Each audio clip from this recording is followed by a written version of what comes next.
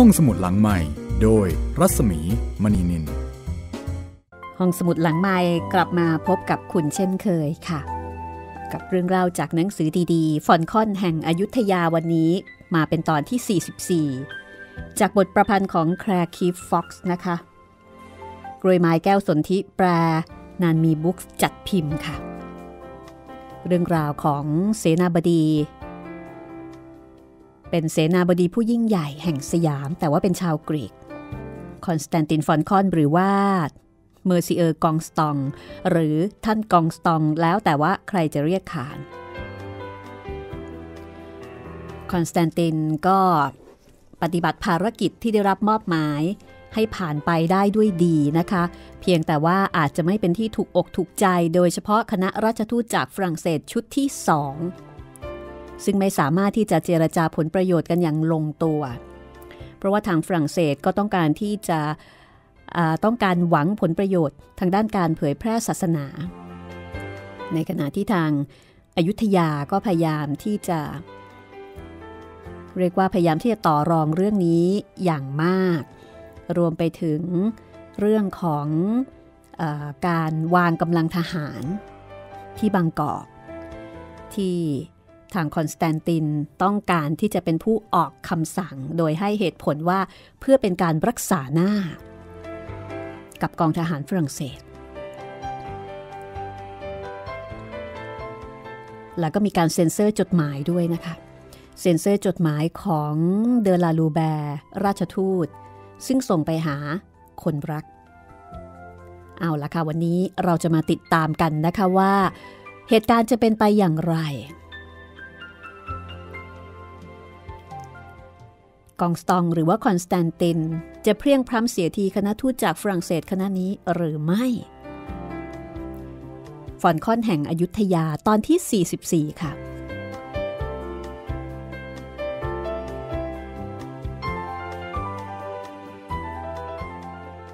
คอนสแตนติน ใช้ให้คนไปขโมยจดหมายมาจากห้องของราชทูตลาลูแบร์แต่เมื่อได้มาเขาก็ไม่เข้าใจ ว่าทำไมลาลูแบร์จึงใช้ชื่อว่าเลออง คือลงชื่อท้ายจดหมายว่าเลออง ไม่มีใครให้คำตอบนี้ได้ แม้กระทั่งบาทหลวงปีแอร์มาตี ซึ่งมาช่วยทำงานแทนบาทหลวงโปมา ก็ไม่เข้าใจเช่นกัน เป็นไปได้ว่าอาจจะเป็นประหัตลับคอนสแตนตินคิดอย่างระแวง แต่ถ้าเป็นจดหมายลับจริง ก็น่าจะมีการซุกซ่อน แทนที่จะทิ้งไว้บนโต๊ะก่อนที่จะออกไปล่าช้างทั้งวัน คือเขียนเสร็จก็ทิ้งเอาไว้บนโต๊ะ แล้วก็ออกไปล่าช้าง และถ้าเป็นประหัตทำไมถึงใส่ชื่อผู้รับว่า mademoiselle de Scudéry ซึ่งมีชื่อต้นว่าซาโฟ เขาอ่านจดหมายอีกครั้ง ลาลูแบร์ได้รับคำสั่งให้เขียนรายงานเกี่ยวกับประเทศสยาม ข้อความตรงนี้ทำให้คอนสแตนตินเข้าใจ ว่ามิน่าล่ะ เหตุใดลาลูแบร์จึงตื่นเต้นทุกครั้งที่ได้ออกจากที่พำนัก แล้วก็มักจะมีคำถามถามเขามากมาย เช่น ไต่เท้า เฮดไดไม่มีใครทำขนมปังที่นี่ แล้วการสืบทอดมรดกปฏิบัติกันอย่างไร แล้วเกิดสิ่งใดเมื่อนางสนมถูกจับได้ว่าคบชู้สู่ชาย ต้นไม้ต้นนั้นมีชื่อว่าอย่างไร ท่านบอกแต่ชื่อเป็นภาษาสยาม แล้วชื่อภาษาละตินล่ะ เรียกยังไง ลาลูแบร์มีสีหน้าดูถูกดูแคลน เมื่อคอนสแตนตินตอบอย่างหงุดหงิดว่าเขาไม่รู้จักชื่อภาษาละติน แล้วก็ไม่มีเวลาว่างพอที่จะมาสนใจวิชาพฤกษศาสตร์ คือลาลูแบร์ก็ต้องการความรู้แบบวิชาการมาเลยทีเดียวเชียวนะคะซึ่งเรื่องนี้ก็ทำให้คอนสแตนตินรู้สึกหงุดหงิด คอนสแตนตินยักไหล่ช่างมันเถอะ เรื่องนี้ไม่สำคัญนัก สัปดาห์หน้า เขาก็จะได้รับแต่งตั้งเป็นท่านกองแห่งฝรั่งเศสแล้ว เป็นอัศวินแห่งเครื่องราชอิสริยาพรแซงมิเชล ถึงใครจะนินทาว่า เขามีท่าทางบ้านนอกก็ตามเถอะ คือในจดหมายเนี่ย นินทากองสตองนะคะ ว่าเป็นคนที่เหมือนกับว่าเป็นคนที่บ้านนอกบ้านนอกออไม่มีไม่มีสกุลลุนชาติอะไรทำนองนั้น ซึ่งแน่นอนว่าสิ่งเหล่านี้ก็ต้องสร้างความไม่พอใจให้กับคอนสแตนติน แต่ว่าก็เป็นเรื่องที่ พอที่จะคาดเดาได้นะคะ อที่จะคาดเดาได้ไม่ยาก เพราะว่าลาลูแบร์เนี่ยก็ไม่ได้มีความรู้สึกที่ดีอะไรกับเขามากมายนัก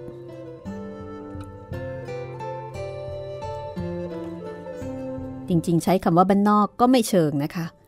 เหมือนกับว่าเป็นคนแบบบ้านๆน่ะเออไม่ใช่คนที่เป็นผู้ลากมากดี ซึ่งทางฝรั่งเศสก็ออกจะดูถูกดูแคลน แต่คอนสแตนตินก็พยายามที่จะไม่สนใจเรื่องเหล่านี้ แล้วสัปดาห์หน้า เขาก็จะได้รับเกียรติให้เป็นท่านกอง ซึ่งแม้กระทั่งลาลูแบร์เอง ก็ยังไม่ได้รับเกียรติเช่นนี้เลย มีการทาสีใหม่ ในห้องสวดมนต์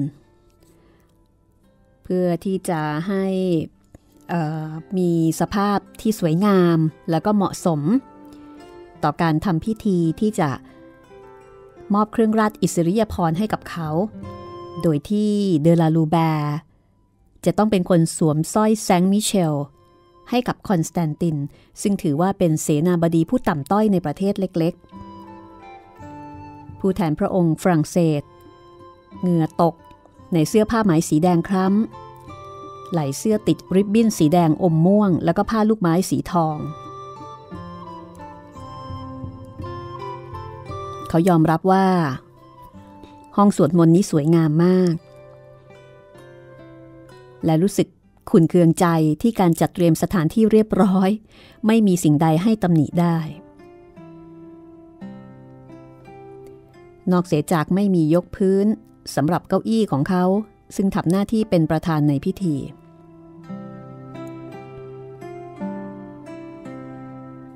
เขานั่งลงหันหน้าเข้าหาพระบรมรูป ของสมเด็จพระเจ้าอยู่หัวฝรั่งเศสที่แขวนอยู่ในห้อง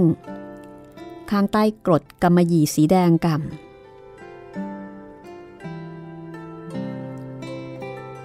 แล้วก็พึมพำกับตัวเองว่า โอ้ใต้ฝ่าละอองธุลีพระบาท จะทรงทราบบ้างไหมว่าข้าพระองค์ถวายรายงานด้วยความตั้งใจเพียงไร และจำต้องทนกับสิ่งใดบ้างเพื่อรักษาไว้ซึ่งพระเกียรติยศ ในขณะนั้นนายทหารฝรั่งเศสทั้งหลายก็เริ่มเดินเข้ามา เจ้าคณะแห่งเมโทโลโพลิส เริ่มบทสวด Veni Creatorบรรดานักศึกษาศาสนาชาวสยามร้องเพลงสวดเสียงดังก้องไปทั่วห้อง monsieur กองสตองเดินเข้ามานำหน้าโดย monsieur เดอเฟรดวิลและเดอจองกู แล้วก็ปิดท้ายด้วยอนุสงฆ์ซึ่งเดินถือพระคัมภีร์ แสงแดดส่องผ่านกระจกสี รูปดอกบัว กระทบเครื่องประดับบนร่างของเสนาบดีจนดูวับวาว ทับทิมบนด้ามกระบี่ สายยงยศประดับเพชร เสื้อแพรสีน้ำเงินเข้ม มีลาย fleur-de-lis สีเงิน ซึ่งสมเด็จพระเจ้าอยู่หัวฝรั่งเศสทรงส่งมาพระราชทานสังฆราชลาโนบอกกับตัวเองว่าท่านยังไม่เคยประกอบพิธีทางศาสนาคริสต์ ในบรรยากาศที่นอกรีตเช่นนี้ monsieur เดลาลูแบร์ก็คิดเช่นเดียวกัน เมื่อมองผู้ที่มาชุมนุมในวันนั้น ชาวสยามขับร้องเพลงเสียงสูง ครอบครัวของมาดามกองสตองสวมเสื้อคลุมนอนปักลายคอนสแตนตินเดินก้มหน้าด้วยท่าทีนอบน้อม เขาไม่รู้สึกถึงความดูถูกของชาวฝรั่งเศส หรือความแปลกประหลาดของงานพิธี เหล่านี้เป็นความรู้สึกของทางฝรั่งเศสทั้งสิ้น แต่เขารู้สึกตื่นเต้น เช่นเดียวกับบุตรชายของเซเบเรอุปทูต ที่ตัวสั่นเมื่อบุตรชายคนโตของในบนเดฟาชลุกขึ้นมาติดเครื่องหมายแซงมิเชลให้ลาลูแบร์ลุกขึ้นมาสวมกอด แล้วก็แสดงความยินดีที่เขาได้เป็นท่านกองแห่งฝรั่งเศส และราชทูตลาลูแบร์ ก็ประหลาดใจ ที่เห็นดวงตาของคอนสแตนตินหรือว่า monsieur กองสตอง มีแววปลาบปลื้มอย่างจริงใจ คอยดูไปเถอะ เวลานี้เราแต่งตั้งเขาให้เป็นท่านกอง เขาจะต้องคิดว่าตนเองเป็นกองจริง ๆ ต่อไป หวังว่าเขาคงปฏิบัติต่อเราดีขึ้น อย่างน้อยๆ ก็ควรนึกขอบคุณเราบ้าง ลาลูแบร์กระซิบกับเจ้าคณะแห่งเมโทโลโพลิสหลังงานพิธีเสร็จสิ้นแล้ว แล้วก็ทุกคนพากันไปรับประทานอาหารเย็นแบบฝรั่งเศสที่บ้านของท่านเสนาบดี แต่พอวันรุ่งขึ้น เขาก็ยังคงเห็นว่าคอนสแตนตินก็เป็นกองที่ร้ายกาจเหมือนเดิม ลาลูแบร์เห็นว่างานฉลองตำแหน่งนี้ดำเนินไปด้วยดี ก็เลยบอกกับเซเบเรอุปทูตว่าน่าจะเจรจาเรื่องที่ได้รับมอบหมายมา แล้วก็ขอให้เมอร์ซิเออร์กองสตองเขียนคำรับรองเป็นลายลักษณ์อักษร เรื่องของเรื่องพวกเขาจะขอคำรับรอง 4 ข้อ 1. ขอให้ประกาศสัญญาทางศาสนา 2. ขอส่งทหารไปมาริด 3. ขอเรื่องการสร้างป้อมที่บางกอกพร้อมด้วยสเสบียงอาหาร 4. ขอเรื่องการถอนทหารสยามออกจากบางกอก ส่วนเรื่องการดูแลความปลอดภัยของป้อมให้เจรจากับเดฟาชเซเบเร่ก็เรียกนายพลเดฟาชมาพบที่ห้องพัก แทนที่จะไปหาที่บ้านของคอนสแตนติน เพราะรู้ว่าเดฟาชคงจะมีนายทหารห้อมล้อมอยู่หลายคน เขาต้องการสนทนาอย่างลับๆ แล้วก็ไม่ต้องการแสดงให้นายพลเห็นว่าราชทูตและตัวเขา เป็นห่วงชะตากรรมของฝรั่งเศสเพียงใด เมื่อมาเจอกันเขาก็กล่าวอย่างร่าเริงกับนายพลเดฟาชว่า ท่านนายพล ท่านก็ทราบอยู่แล้ว อีกไม่กี่วันผมก็จะเดินทางกลับ แล้วก็จะต้องไปรายงานสถานการณ์กับเมอร์ซิเออร์เดอเซเยเล่จึงอยากทราบความคิดเห็นของท่าน ว่าทหารของเราจะปลอดภัยหรือไม่ที่เมืองบางกอก เพราะผมเองก็มีค่อยทราบ แล้วก็ไม่ใช่ทหารด้วย เดฟาชบอกว่า อืม สถานที่ไม่ดีนัก แต่ฉันสามารถป้องกันได้ ถ้าจำเป็น แน่นอน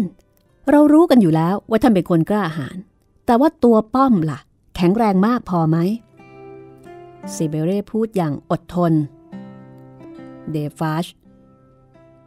เลิกคิ้วใส่อุปทูตเซเบเรซึ่งมีตำแหน่งสูงกว่าเขา แต่ก็เป็นแค่พลเรือน เมอร์ซิเออร์เซเบเรฉันสามารถสู้ได้ แม้จะอยู่หลังม่านโปร่งเขาหยิบแก้วขึ้นมาใหม่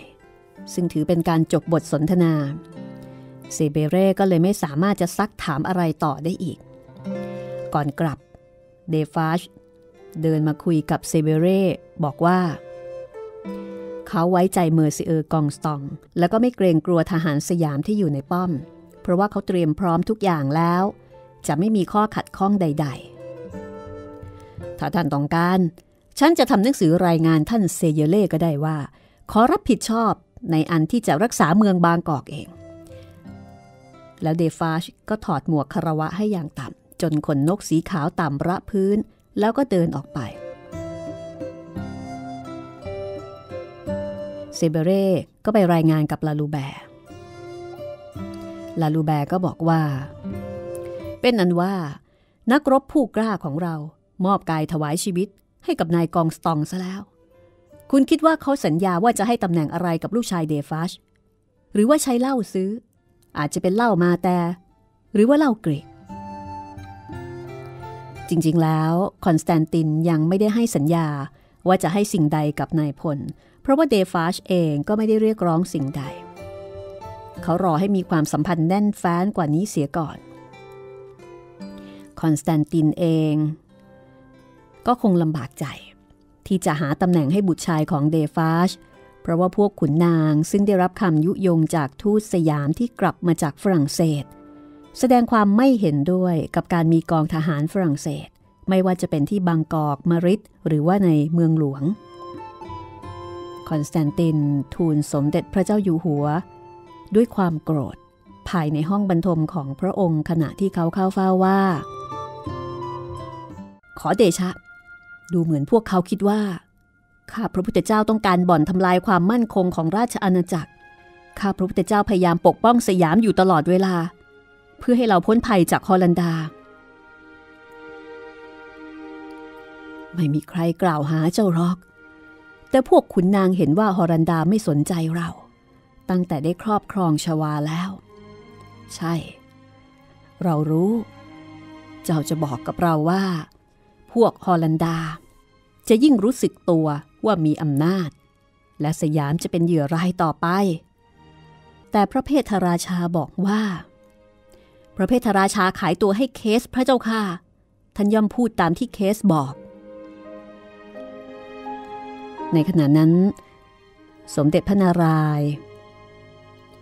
มีพระอาการโรคหืดกำเริบ ทรงทอดพระวรากาย อยู่บนแท่นที่บรรทม วันนั้นคอนสแตนตินโกรธมาก โกรธจนลืมประเพณี เดินกลับไปกลับมาในห้อง เมื่อคอนสแตนติน กล่าวพาดพิงถึงพระเพทราชา สมเด็จพระนารายณ์ทรงมองเขาอย่างเยือกเย็น ฉันพระองค์ขึ้น แล้วก็ถามว่ามีหลักฐานหรือไม่ คอนสแตนตินเมื่อพูดไปแล้วก็ต้องกัดริมฝีปากตัวเอง ก้มหน้า หลักฐานหรือ เขามีหลักฐาน แต่สมเด็จพระเจ้าอยู่หัวคงไม่อยากจะรับฟัง เพราะว่าทรงผูกพันกับพระเพทราชา ในฐานะพระสหายมาตั้งแต่ครั้งยังยาว ไม่มีพระเจ้าค่ะ แต่อีเวสบอกว่า สมเด็จพระนารายณ์ทรงตัดบทอย่างนุ่มนวล โทมัสอีเวสคงได้ข่าวมาผิด และเขาเป็นคู่แข่งขันทางการค้ากับฮอลันดา จริงอยู่ว่าพระเพทราชา มีความสัมพันธ์อันดีกับผู้บริหารของบริษัทฮอลันดา แต่ที่ทำไปก็เพื่อเป็นการหยั่งเชิง ปฏิกิริยาของทางปัตตาเวีย เรารู้ว่าจะหวังดีต่อราชอาณาจักร แต่ทำไมเจ้าจึงไม่คิดว่าคนอื่นๆ ก็อาจมีความรู้สึกเช่นเดียวกันด้วย คอนสแตนตินไม่ทูลตอบแล้วก็เปลี่ยนเรื่องพูด ทูลเสนอให้พระองค์ทอดพระเนตรเครื่องยิงระเบิด ซึ่งฝรั่งเศสนำมาในเรือ เป็นอาวุธซึ่งไม่มีกษัตริย์ ในอินเดียพระองค์ใดมี เป็นอาวุธที่มีกำลังมาก เขามิได้ทูลเสริมว่าอาวุธนั้นจะได้อยู่ที่อยุธยาแทนที่จะเป็นบางกอก และลาลูแบร์คงไม่กล้าขอคืนไป เมื่อสมเด็จพระเจ้าอยู่หัวได้ส่งทอดพระเนตรแล้ว เขาจะทูลเสนอให้ทรงขอเอาไว้ เหตุการณ์ ความขัดแย้ง ก็กำลังมีความเข้มข้นขึ้น เรื่องราวจะเป็นอย่างไรต่อไปนะคะ สถานภาพความมั่นคงในชีวิตและการงานของคอนสแตนติน จะยังมั่นคงต่อไปเช่นนี้อีกสักเพียงใด ทั้งนี้ก็ขึ้นอยู่กับสุขภาพของสมเด็จพระนารายณ์พักสักครู่ค่ะ ห้องสมุดหลังใหม่ โดยรัศมีมณีนิน ทางด้านลาลูแบร์เขาลืมคิดถึงเรื่องเครื่องยิงระเบิด ซึ่งเขาจารนัยไว้ในจดหมายสั่งสำหรับบาทหลวงตาชาร์ตเขากำลังวิตกว่า ใกล้จะถึงเวลาเดินทางกลับแล้ว แต่ยังไม่ได้เจรจาเรื่องทางศาสนาสักที แล้วก็ยังไม่ได้พูดเรื่องการประกาศอภิสิทธิ์ทางศาสนาสำหรับชาวคริสต์ซึ่งเรื่องนี้เป็นหน้าที่ที่เขาได้รับมอบหมายให้มาเจรจาโดยตรง แล้วก็จะเป็นสิ่งที่กำหนดความก้าวหน้าในตำแหน่งหน้าที่ของเขาเมื่อกลับปารีสอีกด้วยสองสามวันหลังจากที่ได้มอบเครื่องราชอิสริยาภรณ์แก่คอนสแตนติน เขาไปขอเข้าพบท่านกงต์แห่งฝรั่งเศสคนใหม่ ซึ่งกำลังนั่งรับประทานอาหารว่าง หลังการฟังสวด เขาได้เห็นคอนสแตนตินนั่งอยู่บนพื้นต่าง มีผ้าผืนเดียวพันกาย เช่นชาวพื้นเมืองทั่วไป เขานั่งลงบนเบาะซึ่งคอนสแตนตินเชื้อเชิญ และปฏิเสธก๋วยเตี๋ยวยอมรับแต่แกงจืดเท่านั้น ฉันตั้งใจจะมาพูดกับท่าน ด้วยเรื่องข้อตกลงทางศาสนาคอนสแตนตินเลิกคิ้ว โรยพริกในถ้วย บีบมะนาวใส่ ใช้ตะเกียบงาคีบเส้นก๋วยเตี๋ยวใส่ในช้อนกระเบื้อง เรื่องศาสนา ใช่ เรื่องศาสนา เมอร์ซิเออร์เดอโชมองได้ลงนามในสัญญา ว่าด้วยเรื่องศาสนา สัญญานั้นจะต้องได้รับการประกาศใช้ในวันรุ่งขึ้น หลังจากวันที่เขาเดินทางจากไป แต่ลาลูแบร์ได้รับทราบ จากเจ้าคณะแห่งเมเทโลโพลิสว่าไม่เคยมีการประกาศใช้สัญญานั้นมิทราบว่าเกิดสิ่งใดขึ้น สมเด็จพระเจ้าอยู่หัวแห่งสยาม ทรงรับรองว่าจะทรงศึกษาศาสนาคริสต์ แต่ก็มิได้ทรงศึกษา เวลานี้เมอร์ซิเออร์กองสตองได้รับเครื่องราชอิสริยาภรณ์แห่งศาสนาคาทอลิกที่สูงเกียรติ เขาควรจะเข้าใจ ว่ามีหน้าที่พึงกระทำเพื่อให้คู่ควรกับเกียรติยศระดับนี้ และก็ควรปฏิบัติตามที่ได้รับปากไว้ คอนสแตนตินได้ฟัง ก็ซดน้ำก๋วยเตี๋ยวในชามจนหมด ก่อนจะบอกว่า เป็นความจริงที่ไม่เคยมีการประกาศสัญญานั้น สังฆราชไม่ได้โกหกท่าน แต่ท่านมิได้บอกด้วยหรือว่า ท่านเอง เป็นคนขอไม่ให้ประกาศ โดยเกรงว่าชาวสยามจะไม่พอใจ ส่วนเรื่องการศึกษาศาสนาของสมเด็จพระเจ้าอยู่หัว ก็ยังมิได้ทรงทำเพราะเจ้าคณะยังใช้ราชาศัพท์ได้ไม่ถูกต้อง จึงมิบังควรสอนพระศาสนาแก่สมเด็จพระเจ้าอยู่หัว โดยใช้คำสยามพื้นๆแต่เขาก็ได้รู้ ได้เห็นว่าท่านก็ไม่ได้พูดให้ราชทูตฟังเหมือนกัน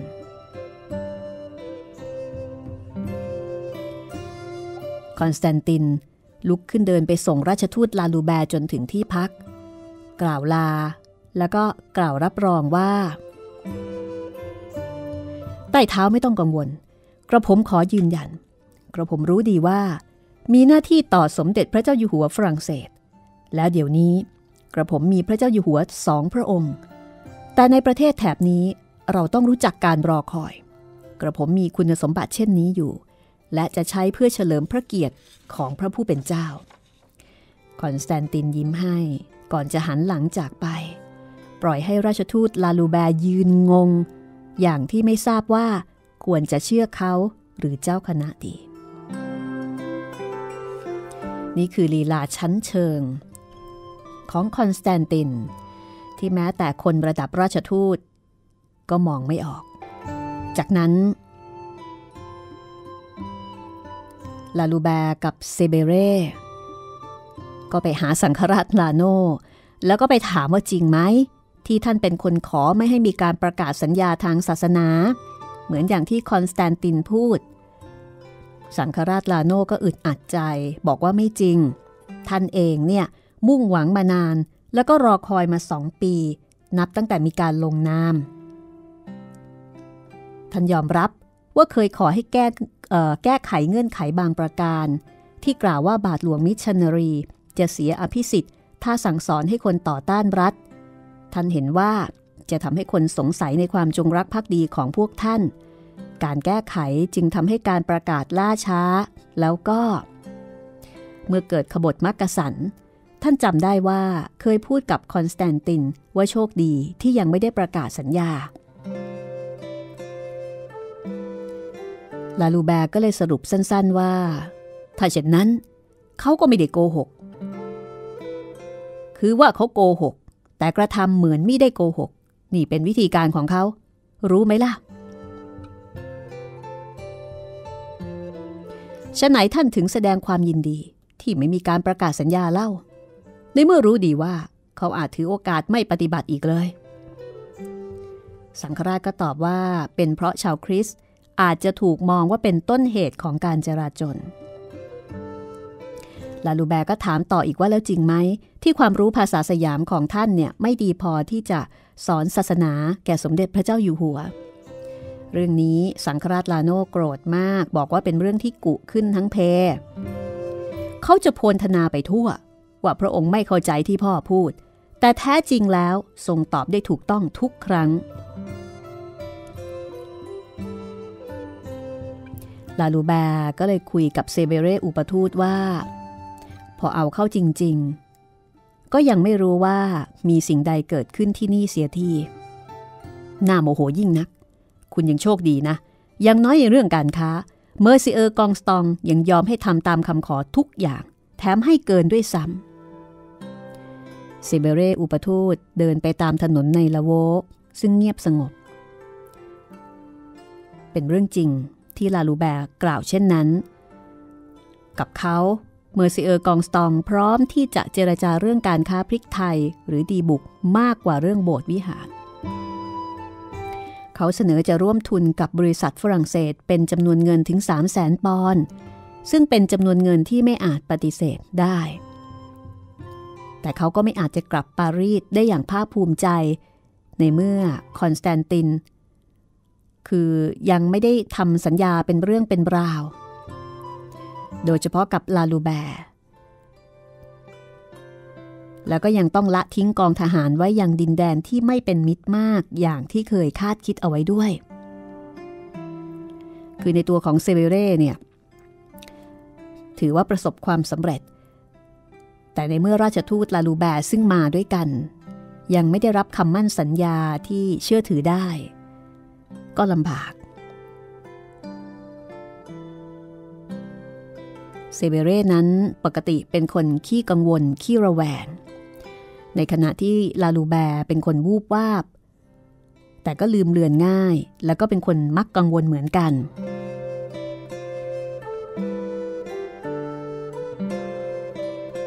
คืนนั้นเซเบเร่เข้านอน แล้วก็ครุ่นคิด ใคร่ครวญ ว่าแท้จริงแล้ว การเดินทางมาสยามครั้งนี้ไม่มีวี่แววดีเลย และแล้วในวันรุ่งขึ้น เขาก็ได้รับรู้ว่าลางร้ายที่สังหรณ์เอาไว้นั้นเป็นความจริง มีจดหมายของเมอร์ซิเออร์เวเร่ส่งมาจากอยุธยา เวเร่เล่าว่า บาทหลวงมาติโนต้องไปเผยแพร่ศาสนาที่บางกอก แล้วก็ทำมิสซาให้กองทหารฝรั่งเศส เพราะว่านักเทศทุกคนป่วยหมด บางก็ตายไประหว่างการเดินทางเมื่อเดินทางกลับมาถึงอยุธยา ท่านแสดงความวิตกกังวล เรื่องโรคระบาดและความประพฤติของทหาร ซึ่งดื่มเหล้ากันเมาไมา้แล้วก็ออกไปเที่ยวผู้หญิงกันทุกคืน มีผู้หญิงหลายคนถูกขืนใจ ถึงแม้ว่าผู้กระทำผิดจะถูกจับมาลงโทษ แต่ประชาชนก็เริ่มไม่พอใจมากขึ้นทุกขณะ เพราะได้ยินคำยุยงว่า ศาสนาของพวกเขากำลังถูกรุกราน และก็ทนไม่ได้ ที่เห็นชาวต่างชาติข่มเหงหญิงชาวสยาม และก็ไม่ชอบการฝึกรบที่ไม่ใช้อาวุธจริงเซเบเร่คิดว่าเรื่องนี้คงจะต้องบอกในพลเดฟาชเพื่อให้รีบกลับไปบางกอกเพื่อรักษาความสงบสุข แทนที่จะกล่าวรับประกันว่าเมืองนั้นปลอดภัยทั้งที่ตัวเองเนี่ยยังอยู่สบายที่ละโว แต่ลาลูแบร์ก็บอกว่าในพลเดฟาช คงไม่ยอมรับฟังคำสั่งของอของเขาแล้วก็เซเบเรอีกแล้ว ดูเหมือนว่าตอนนี้เดฟาชรับคำสั่งจากเมอร์ซิเออร์กองสตองเท่านั้น ลาลูแบร์บอกเซเบเรว่า ส่งจดหมายฉบับนี้ให้บาทหลวงตาชาร์แทนอาจจะเป็นการดีกว่า ท่านคงรู้ว่าจะต้องทำอย่างไร เดฟาชจึงจะยินยอมกลับไปอยู่กับทหารของเขา คือเหมือนกับเดฟาชก็ไม่ค่อยจะยอมรับในอำนาจของราชทูตสักเท่าไหร่ ทางด้านของบาทหลวงเยซูอิต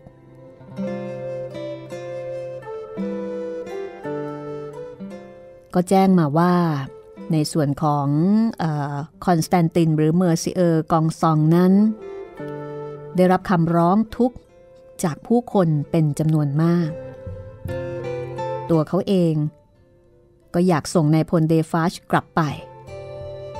แต่เดฟาชก็ยังผัดผ่อน แล้วก็บอกว่า นายทหารที่ได้รับมอบหมายให้ดูแลเมืองบางกอกเนี่ย สามารถจะรับมือกับเหตุที่อาจจะเกิดขึ้นได้ไม่ต้องเป็นห่วง แล้วก็บอกว่าทหารที่เดินทางอยู่ในทะเลเป็นเวลานานๆ ก็เป็นแบบนี้แหละจะให้ประพฤติตัวเรียบร้อยเหมือนนักบวชเนี่ยก็คงไม่ได้ เมื่อได้กินได้ดื่ม แล้วก็ระบายความใคร่จนหนำใจแล้ว ก็จะกลับมาเป็นทหารที่เชื่อฟังผู้บังคับบัญชาเหมือนเดิม คือเรื่องก็เกิดขึ้นจริง เดฟาชก็ยอมรับว่า